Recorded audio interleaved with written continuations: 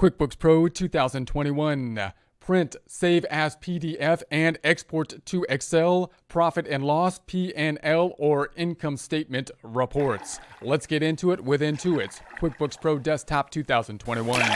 Here we are in our Get Great Guitars practice file. We currently have the open windows open. You can open the open windows by going to the view dropdown, selecting the open windows list. We're now going to take a look at some of the income statement reports we have generated and looked into in prior presentations and think about how we might display them or show them to a supervisor or client basically on a month end or year end basis. To think about that, let's first think about where we're going to put these reports. I'm going to minimize up here. We're going to go into our GGG file. This might be a client file if you're a bookkeeper, or it might be a, a company file if it's your company that if you're a bookkeeper, you would sort by client most likely. If it's your company data, then you might be sorting by date of that company data. So then I'm going to go into section one through five. That's going to be the sections we're working on in the practice problem. In practice, in an actual practice, then of course it might be by client or it might be by date within the client or within our company file.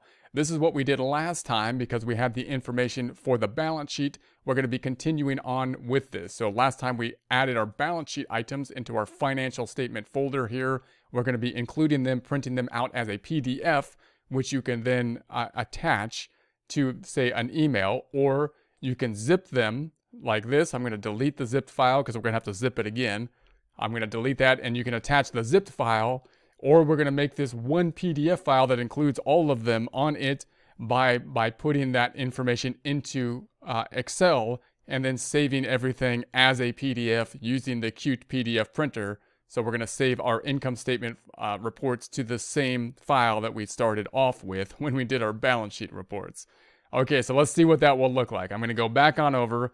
Now, you'll note that we memorized some of our reports as well. We, we memorized them and grouped them by category on when where we're going to use them at a month end or year end. So let's take a look at that. I'm going to go to the reports drop down. I'm going to go to the memorized uh, reports. Or let's go to the reports center, reports and then reports center. Going to maximize the reports center. Going to go into the memorized tab up top. And then we have our categories. This is the, the client month end reports and our year end reports. We're going to imagine it's the end of the month now and we've got our balance sheet and income statement reports, which have been formatted the way we like to see them on these month end or year end reports. Now, you, there's one way that you can do this, which would be a quick way if you want all these reports grouped together and simply email them out. You could go to this edit item up top, select the category that you're looking into, and then I want to display them. And I could just check off the ones I want. I can have the time frame here and I could then possibly even just simply email right out of uh, QuickBooks. Although, again, I like to basically at least print them as a PDF so that I can put them somewhere, look at them, and then send them out. So that's one option you have. We're going to be opening up these items, or at least the income statement items, one at a time here.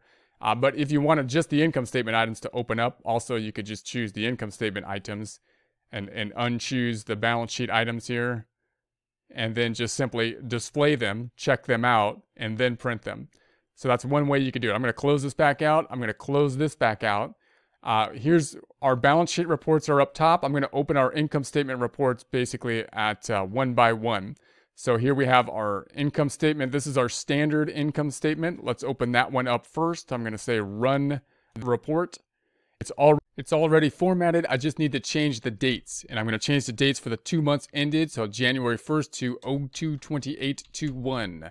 So that's the date range that we want. Now I'm just going to print it out. I'm going to use the drop down. We could save it as a PDF. I'm going to practice using the cute PDF printer, which is a free tool that uh, uh, I would I use. It's a it's typically a free tool. I would use some type of PDF printer just to get used to using one. Uh, and there we have it. And I'm going to go ahead and print it. And sometimes the option up top in some programs and even some QuickBooks reports don't have the option to, to save it as a PDF. And if you have a cute PDF printer uh, or some type of PDF, PDF printer, then you could still save it as a PDF. So here's what we have in the folder thus far. Uh, we've numbered them in order to be able to have some control over how the, they will be numbered in the folder that we're going to zip and send out. So I could label this as number four, although you might want to put it like after the balance sheet possibly. but I'm just going to have all the balance sheet reports and then the income statement reports at this time. So income, income statement, and I'm going to say 02.28.21 and save that. I'm also going to export it to Excel. So we're going to hit the Excel dropdown. I'm going to create a new worksheet. I'm going to put it into the existing workbook that we set up when we did the balance sheet. If you don't have an existing workbook, then you can practice going to a, a new workbook here, which will open up Excel and create a new workbook. We have an existing workbook from the prior presentation with the balance sheets, and there it is. So I'm going to put it into that one, and it'll open up that workbook and then uh, place a new worksheet within it. There it is. I'm going to maximize this. I'm going to grab that sheet. I'm going to pull it to the right now. It added this first tab again. I'm going to remove that first tab. Don't need it. Right click on it, delete it. Then I'm going to go back to the last tab. I'm going to rename it, double clicking on it. I'm going to call it IS for income statement. Let's check out the view on the page layout view, which gives us an idea of what it'll look like when we print it, a better idea. We're going to get rid of the freeze panes or the uh, splits by going to the view tab up top, windows, remove the splits, and we the header looks good. Going to go back to the normal view, looks good. Let's close it out and go to the next report. Going to save that. And yes, and then I'm going to go to the next one. Let's go to the next one. Back to the to the report center in the open windows. And now let's open up the comparative income statement. That's a good one. Let's open that one up. So there it is. Dates look correct. Everything lines up. So I'm just going to go ahead and print it out. I'm going to go print it. I'm going to use the cute PDF printer once again. Uh, let's do it that way. I'm going to say reports and say print. And then it's going to ask me where do I want to put it. And I'm going to say that I want this one going. And I'm going to I'm going to label it number five now. Number five, this is a comparative. It's spelled wrong up there. Sorry about that. Statement. I'm going to abbreviate statements 02.28.21 and save that. And so that one, and now let's export it again. Export, create a new worksheet within the existing workbook that we set up last time. It's going to an, an existing workbook. It should be going where we want it already, but I like to double check it because sometimes I've messed up and sent it to the wrong one. Sometimes it's kind of annoying.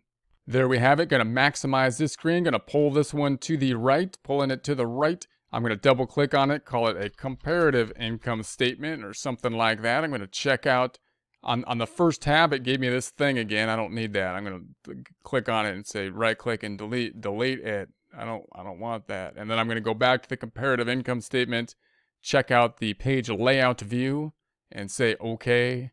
And header looks good. Let's go to the view tab up top, go to the windows group and remove the splits.